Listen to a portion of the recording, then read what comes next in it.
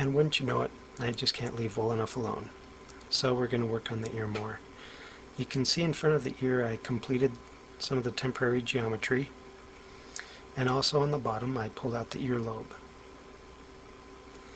So we're just going to go in and quickly make a few minor tweaks. Uh, make it a little bit more appealing.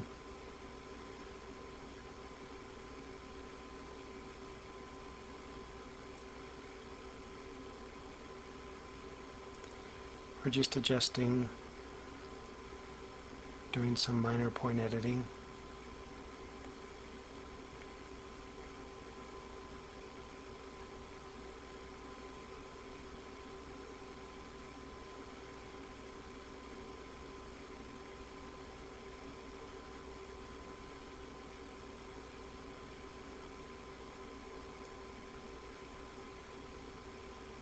So we've got a pretty good looking ear now. Not too shabby.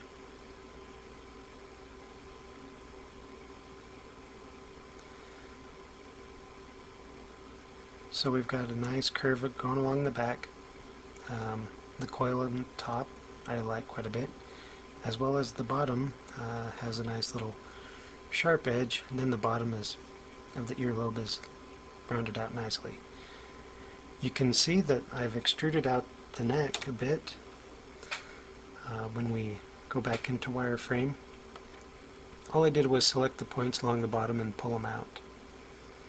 Now we're going to do a sweep. Just quickly we rotate the neck just a bit and now we're going to sweep it.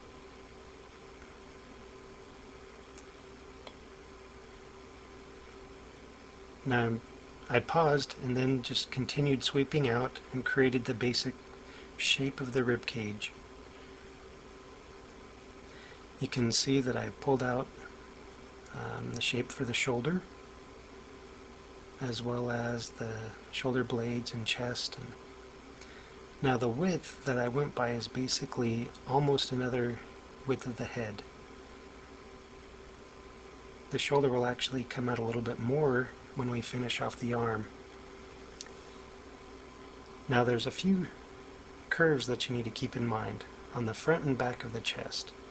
There's the curve of the spine in the back as well as the curve of the rib cage in the front.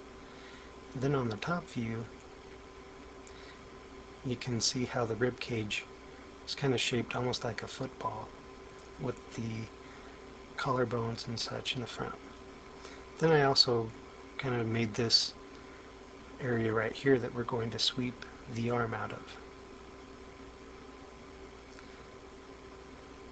Now unfortunately, or fortunately, I left some work undone. We need to go back in and add some more loops that go back into where the arm will sweep out of. That's so we, that we have more geometry within the arm. Um, to make a little bit smoother as we sweep it out from the body.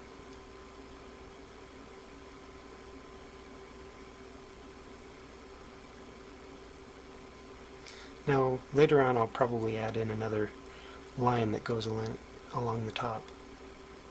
Now I just did a little bit more point editing to round out the shape. Um, kind of get the rib cage a bit nice. Look in the front where the chest where the pectorals are. Now we're just rounding out this shape of where the, the arm is going to come out from.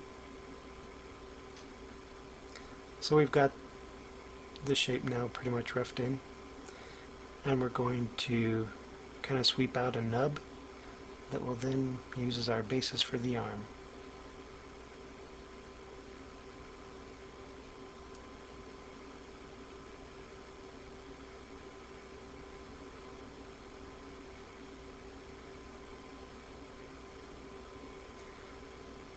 Now I tend to prefer models that aren't um, muscle bound.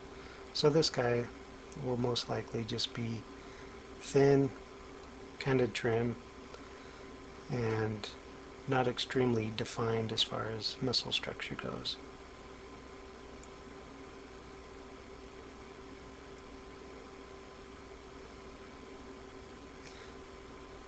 We will be modeling some clothing on him, but we won't start that until later.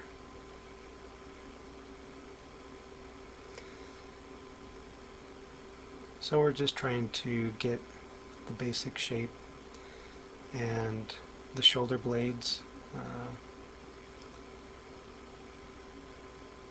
the neck muscles and all that just kind of how we want it.